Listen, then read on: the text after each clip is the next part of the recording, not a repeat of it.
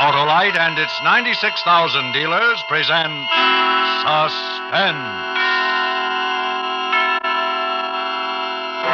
Tonight, Autolite brings you the story of a woman who finds a letter warning of death and has only three hours to deliver it. A transcribed tale we call The Death Parade, starring Miss Agnes Moorehead.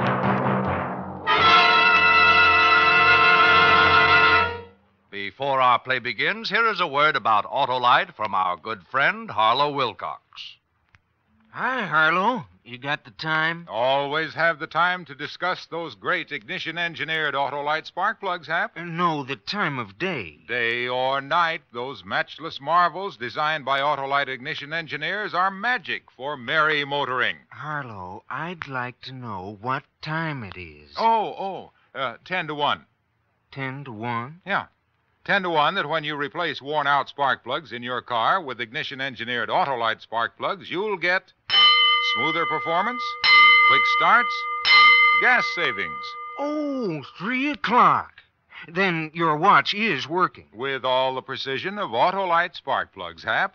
Why, they're designed by the same Autolite engineers who design the complete ignition system for many leading makes of our finest cars. And that's why Autolite spark plugs are world famous for quality and dependability. And now, with the Death Parade and the performance of Miss Agnes Moorehead, Autolite hopes once again to keep you in suspense. Some parade, eh? I'll say. Something about a parade. Yeah, you can say that again. Uh, well, I guess it's all over. Sure has been a nice day for it. Yeah. Not a cloud in the. Hey, hey, look. Up there on the roof. Where? The Benson building. Hey, look out! Look out! She's gonna fall! She's gonna fall! Go back! Go back! No! No, don't!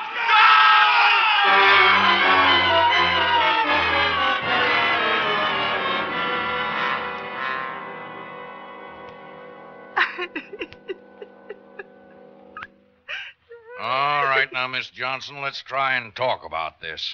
This girl fell or was pushed off a roof this morning.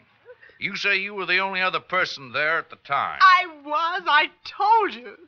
Oh, what do you mean, push? You think that? I- Oh, how can you? Oh, How I, can you? I know you're upset. Uh, just take it easy. Yeah, upset. I'm nearly out of my mind. I don't see how you can expect me to tell you anything. First you accuse me, and now. How can you policemen be so unfeeling? All I was trying to do was just. Oh, it's freezing in here. You've no right to keep me in a Here, try some place. coffee. It'll make you feel better. Now, you've told us you know something about this uh, accident. Something more than we already know. Yes, I do, Lieutenant. I, I mean, it, it never would have happened, don't you see? Sure, sure. Well, come on now. now. Yeah, this'll help. Well, I'm so nervous. I. Oh, oh, it spilled. Oh, that's all right. We'll clean it up later. That's how it started. That's how it started this morning, just like that. The coffee, that poor girl wouldn't have died if the coffee hadn't spilled. That's just how it started.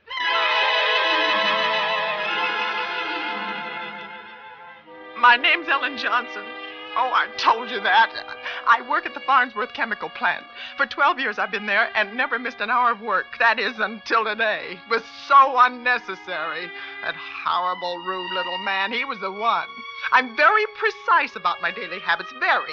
When you live alone, you arrange things that way. In the morning, I get up and allow myself time to take coffee and toast at the cafe on the corner. I've always disliked cooking in the morning. I leave the cafe at 8:15 precisely in order to be at my desk exactly at 9. Well, this morning it was the same. Just the same, except that horrible man. He was just awful. As I sat at the counter, you know, I could feel him there. He was two seats away, thin and dark, making a nasty noise as he drank his coffee. It was all his fault. Are you going to see the parade this afternoon, miss? But I'm afraid I'll be working. Too bad. Should be good for business. I imagine so. Anything else? No, thank you. Hey, you. 25. Mm-hmm. Coffee and toast, right? Yeah, that's right. Hey, you. Thanks. Pass the sugar, will Good you? morning. See you tomorrow. Hey, what's the matter? I asked for the sugar. You can't pass it? I beg your pardon. Yeah, yeah, sure. Oh, why, look at that. You deliberately spilled that coffee all over Oh, my... gee, ain't that a Oh, shame? What a clumsy. Gee, am I sorry?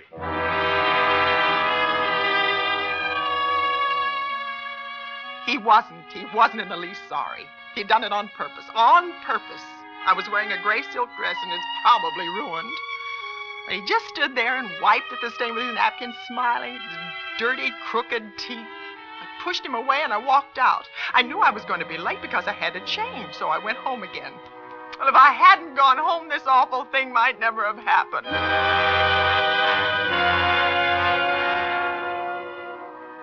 It took me 15 minutes to get back to the apartment, change my dress, and leave again for the office. Well, I'd walked three blocks when I saw the letter. It was lying on the pavement in front of an apartment house. It was unsealed and addressed simply to Miss Sheila Mannix. No house number or street.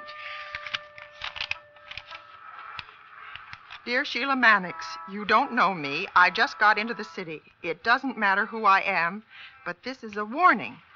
Believe me, you better take notice. Jack's got it in for you. I stopped reading. There was some more, but I didn't want to go on. It frightened me a little, and, well, I'm not one to pry into other people's business, but this, this wasn't prying, really. It, it wasn't. The letter was important.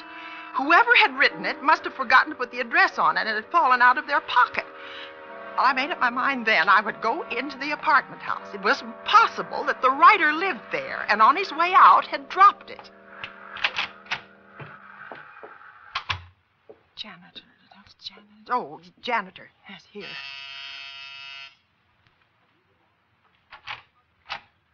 Yeah? Are you the janitor? Uh, yeah, I'm, I'm sorry, we got no vacancy. No, I don't want. Uh, uh, look, this letter, it's not addressed. Do you know the handwriting? I thought maybe no, you might. nobody by that name living here. Oh, I didn't ask you that. All I want you to do is to tell me if you recognize the handwriting. It might belong to someone living here. Well, how come you opened it? Well, it was lying on the pavement outside. So give it to the mailman. It's important. I, I mean, what's in the letter is important. I, I think she ought to get it. So the post office will forward it. Well, can't you see there's no address? How can they forward it? How stupid. Listen, you don't have to get nasty. I told you she don't live here no more. I'm sorry. Who doesn't live here anymore? Mannix, she had 2A about uh, six months ago. Sheila Mannix lived here? Uh, where did she move to? Can you tell me? No forwarding address. But I must find her. I'm sorry, lady, I can't help.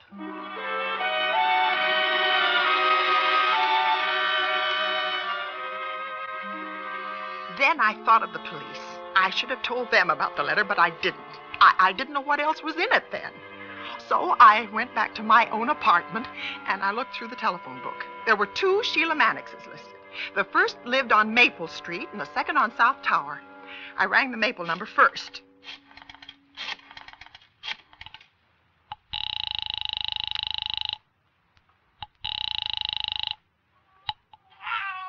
Hello? Hello? Is this Miss Sheila Mannix speaking? Mrs. Sheila Mannix, who's this? Uh, My name is Ellen Johnson, and I found a letter this morning addressed to Sheila Mannix. Oh, I, I, well, I thought it was important, and I wanted to make sure it got to the right party. But that's all right. Who's it from? Well, that's it. I don't know. Well, why don't you open it? Well, I have, uh, but I only read a few lines. Oh. Do you know Oh, someone named mind. Jack? Uh, Jack? Yeah, I have a nephew. Well, then perhaps but maybe. he's in Colorado, though. Well, it seems to be some sort of a warning. Warning? Yes. I'm afraid I don't understand. Well, the letter says that Jack has got it in for you. It's a, well, a warning from. Oh, well, I'm afraid the letter isn't for me. My Jack is ten years old. Oh. Oh, well, I'm sorry to have troubled you. It's all right. Goodbye.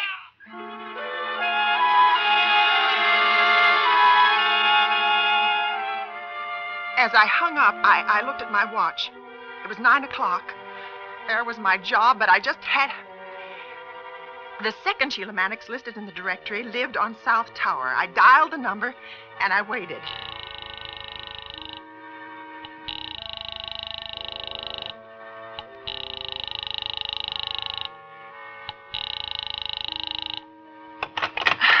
I got the letter out of my purse and read it. This time I read all of it. Dear Sheila Mannix, you don't know me. I just got into the city. Matter who I am, but this is a warning. Believe me, you better take notice. Jack's got it in for you. He was drunk one night and told me about it. Somebody you knew pretty well died last year. He didn't fall off that building. He was pushed, and Jack did it. He said he was going to get you, too. I would have told the police, but they'd start to get nosy about me. Jack's on his way here, and from the way he talks, he better not find you around. He talked crazy about a parade, the corner of Main and Thomas, and 12 o'clock. That's when he's going to do it. A friend. I sat there holding a piece of paper that carried a death warning for a woman I'd never seen, and I knew where and when she was going to be killed.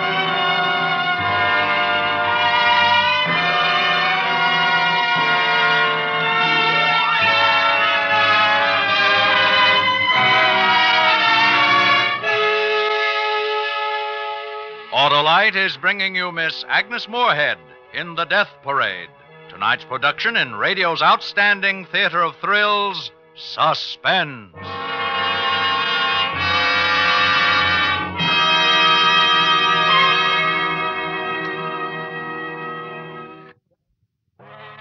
The second Sheila Mannix's address was 317 South Tower Street. I got my car out and I drove there. It must have been nearly a quarter to ten when I drew up outside. It was an old rooming house.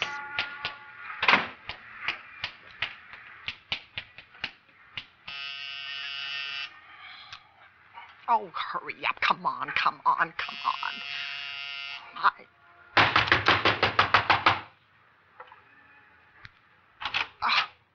What do you want? I'm very sorry to trouble you. Is, is your name... You'll have to talk louder. I can't hear you. I'm sorry. I uh, I wonder if you could tell me. Um, is your name Sheila Mannix? No, it's not. But the phone the, the phone book has a Sheila Mannix listed at this address. Oh, it's her phone. She pays for it. Oh. I never have no cause to use it. She does live here then. Yes, she has a room upstairs. What's the Well, matter? Oh, does she work? Is she at work now? Well, how should I know? I never ask her where she goes. What's she done? You mean you don't know where she works? And do you know where she lived before she moved here? No. You see, she never says nothing. She's quiet and keeps to herself. But where can I find her? It's important that I learn where she is right away. Well, she'll be home prompt by seven. She Oh. always is, you know. You come back then if you got to see her. Well, seven will be too late. I've got to find her now before twelve. There ain't no use shouting at me, Well, miss. I- I can't tell you no more than I already have. I'm I don't know nothing about I'm Sheila sorry. Good morning.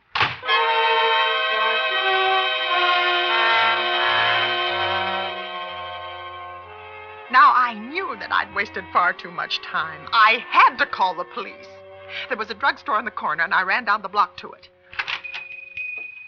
Good morning. Can I help you? Yes, do you have a phone? Uh, one over there, but it's it's out of order. Oh, then I uh, could I use yours? It's an emergency. I'm sorry, I don't have a private I've phone. got to call the police. I've never been mixed up in anything like this before. It's a letter I found this morning, a warning about somebody being killed. Oh, uh, there's a phone in the next store. You can use that. Maybe, maybe you know her. She lives down the block. Who? Sheila Mannix. She's the one. At least I think so. Mannix? Uh-huh. Sure, sure. She comes in often to have a prescription filled. Very nice young woman. Do you know anything about her? I mean, where she works? I've got to find her right away. No, I. Please, it's urgent. I asked her landlady. She didn't know. Well, it, it seems to me she did mention it once. Think but, uh, you must think, please. Well, now, uh, it was just the other day we were chatting while I filled her prescription. She said something about Was it a restaurant? in- A cashier, maybe? No, no. Department store elevator operator? Hats, clothes, shoes, usher, No. uh, telephone operator, maybe? No, no, doesn't hit. I, I'm sorry. You're not thinking. Well, Try listen, to ma'am, think. if, if, if I could help you, I would, but Oh, my.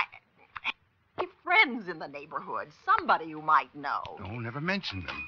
Oh, can't you remember? Maybe maybe she worked in an office, huh? Uh, maybe. I'm, I, excuse me a moment, a customer. You, you better go next door and call the police. But can't you Look, I- remember? I'll, I'll be back. Uh, Maybe a chorus girl. Does she work in a bookstore? Oh, well, I can't wait. I'll come back after I've called. Oh, a bar. What will they think? A woman going into a bar to... Ma'am, wait a minute. Look, I remember. Oh. You said bookstore. It's a book company. Simmons Book and Stationery Corporation. Oh, that was it. you, Simmons thank- Book and Stationery Corporation. Thank you. It's on Main. Yes, I know the place. Thank you very much.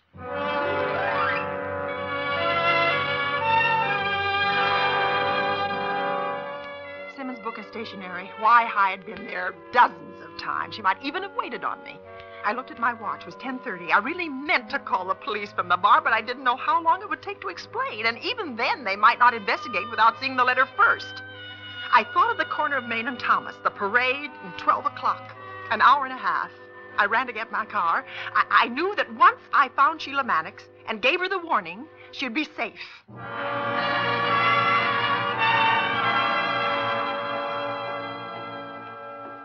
Good morning. May I help you? Yes, please. I'd like to speak to Miss Mannix, Miss Sheila Mannix. I understand that she works here. Uh, yes, yes, of course. Uh, is there anything I can help you with? No, no, thank you. It's it's personal. Oh, oh uh, yes. Uh, one minute, please. Oh, I'd found her, and it was going to be all right now. While I waited, I looked at the books lining the walls. I was standing in front of the mystery section. Do you know the first title that caught my eye was Time for a Murder? I'm very sorry, ma'am, but one of the other girls tells me that Miss Mannix had an appointment. She's not here. Well, I- I'm sorry. Now, perhaps I. But where did she go? Let me talk to the girl. Well, I, I think to the doctor. What doctor? Where? When did she leave? Well, if you'll wait here, I'll find out for you.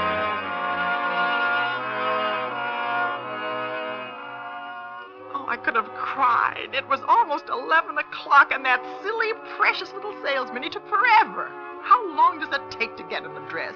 I started to walk to the back of the store when he came down the aisle toward me. Oh, I'm sorry to have taken so long. A customer on the phone, you know. It's all right. I don't care. Just give me that doctor's address. Oh, yes, yes, I have it right here. Dr. Morton, Morton. 101 Flower Street. 101 Flower, Dr. Morton. Uh, when did she leave? Oh, oh, I I forgot to ask if you'll. Uh, No, no, I'm going there now. Listen, if she comes back, if I miss her, you tell her to stay right here. I- Don't let her leave the store again until I come back. But- It's a matter of life and death.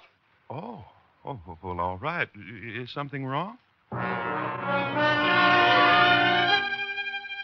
Something wrong. I ran to a telephone booth. I knew that I'd done as much as I could alone to save that poor girl. Police Department, Sergeant Leonard. Please listen carefully. There's a murder going to be committed at 12 o'clock. Who is this? Oh, that doesn't matter. My name's Ellen Johnson. I found a letter in the street this morning. It was to a woman called Mannix, Sheila Mannix. Would you spell that, please? Mannix. M A N N I X. There's not time for. When did you find the letter? I told you this morning. Oh, what difference does it make? It was at nine, I think. Why didn't you call earlier? I didn't because, uh, well, I tried to find her myself. I think I know where she is, but Have I. you got the letter with you? yes, yes, I have. Would you read it, please? Well, there isn't time. You've got to send some men here. It's a warning. Somebody called Jack is going to kill her at 12 o'clock on the corner of Main and Thomas.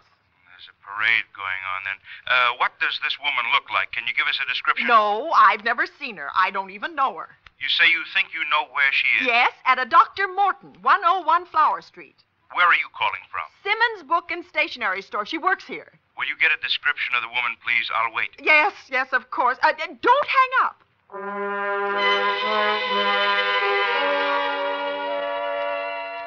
I found the young man again, and he told me what Sheila Mannix looked like.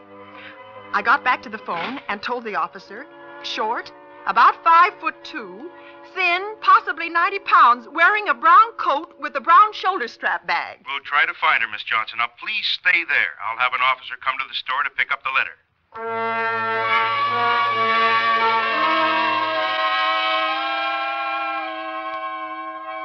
I put the receiver on the hook and sat in the booth. I was shaking and my hands were wringing wet. It was 11:20. Somewhere outside I heard a band playing. The parade must have started. I stayed in the shop and the minutes passed 11:30, 25 to 12. At 20 minutes to, I just couldn't stand it any longer. The waiting, you know, the awful waiting. I had to do something. I called Sheila Mannix's house again. There was just that chance, that slight chance. Maybe she went home after the doctor. Maybe she's there. Two more. Oh, wait. No, three. Let it go three more. Oh, be there, be there, be there. You must. You've just got to be. Hello? Miss Mannix? Who Miss is Mannix, you'll never know. Listen, you don't know me, but You I. have to speak louder. I can't hear a thing on this Who, thing. who is this? Is this Miss Mannix? Miss Mannix ain't here. This is the landlady. Oh, my. I'm cleaning up. Is there a message?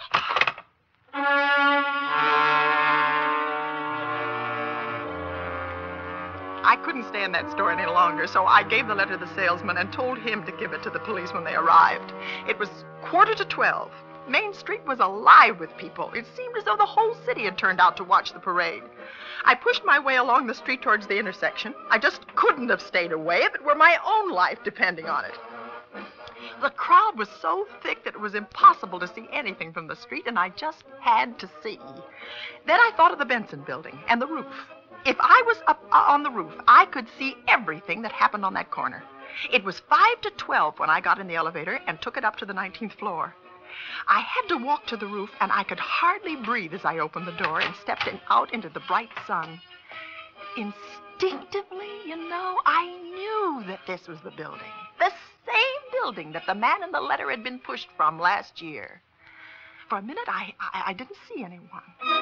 And then, at the corner, standing near the edge, looking down, I saw her.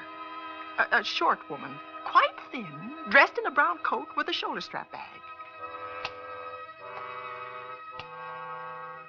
Miss Mannix. You are Miss Mannix, aren't you? I've I've been looking for you. It's about a man called Jack. He's looking. Oh, it's, it's all right. It, it's all right. Don't be frightened. Don't be frightened. Don't move back. Don't. Don't. Don't. The edge. Don't. What's the matter? Get away from there. No. No, you get. No. No. No.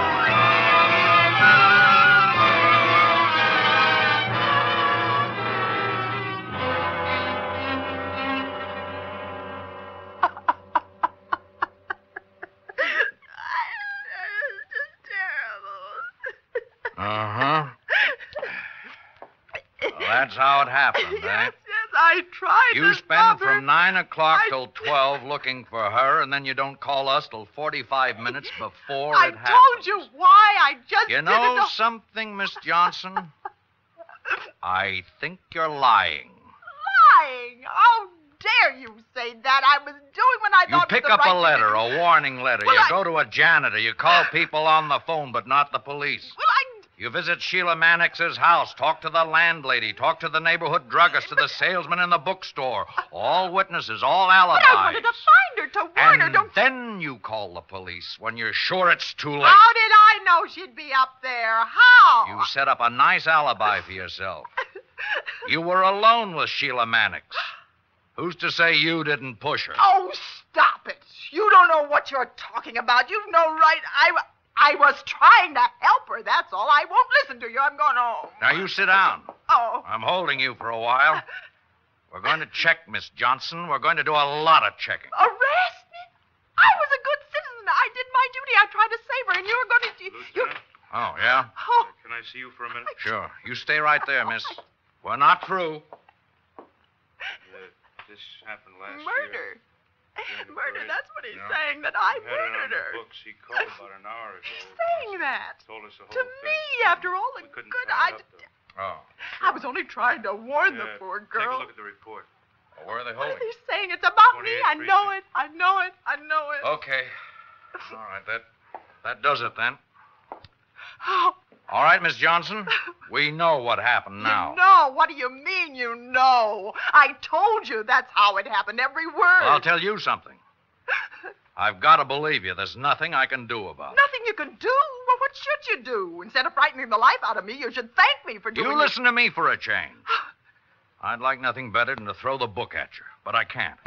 We've got the man called Jack. He was picked up on the parade. There, you see, there. I was right. The fellow who wrote that letter you found called the police about an hour ago. He told us the story. That's how we got our boy. Th- then she was safe. He couldn't kill her. She wasn't in any danger then, was she? Oh, yes, she was. You.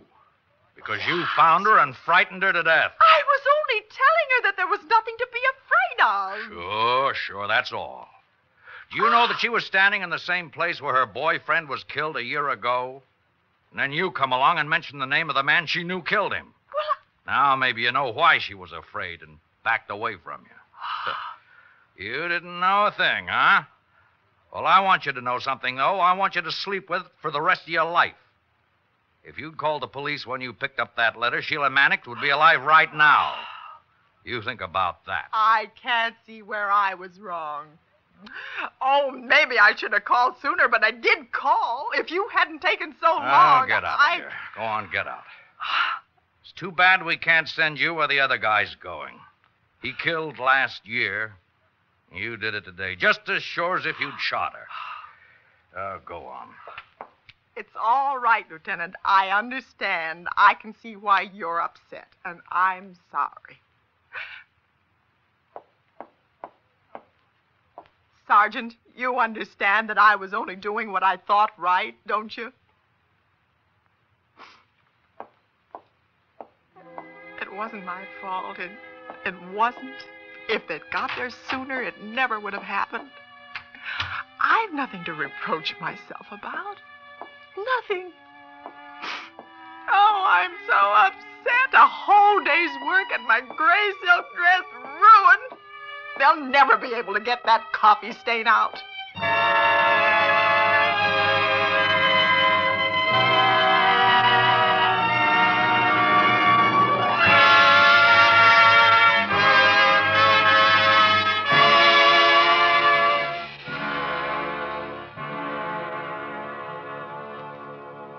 Suspense, presented by Autolite. Tonight's star, Miss Agnes Moorehead. Backward, turn backward, O time in your flight, and give us a minute to talk Autolite. That's a good idea, Hap, but it would take us hours to tell about the more than 400 fine products made by Autolite for cars, trucks, planes, and boats in 28 plants from coast to coast. These include complete electrical systems used as original equipment on many leading makes of cars. Electric windshield wipers, starting motors, wire and cable, voltage regulators, coils, distributors, generators. All engineered to fit together perfectly, work together perfectly as a part of the Autolite team. So, friends, don't accept electrical parts supposed to be as good. Ask for and insist on Autolite, original factory parts, at your neighborhood service station, car dealer, garage, or repair shop. And remember, you're always right with Autolite.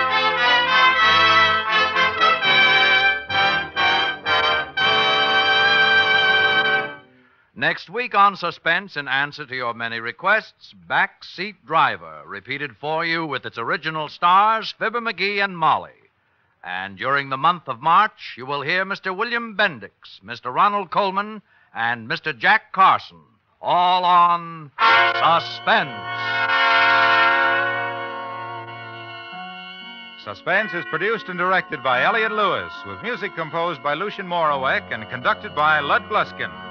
Portions of this program were transcribed. Tonight's cast included Joseph Kearns, Jack Kruschen, Byron Kane, Shimen Ruskin, Jerry Hausner, Lou Krugman, Jeanette Nolan, Jay Novello, and Lou Merrill. For some interesting backstage pictures of Agnes Moorehead rehearsing for today's suspense play, see the current issue of Quick magazine.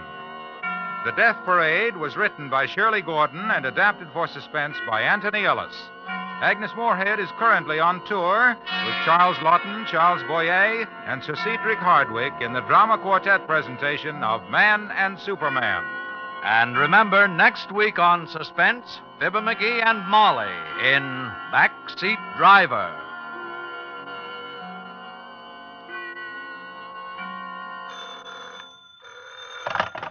Can buy world famous Autolite standard type or resistor type spark plugs, Autolite stay full batteries, Autolite electrical parts at your neighborhood Autolite dealers. Switch to Autolite. Good night. This is CBS, the Columbia Broadcasting System.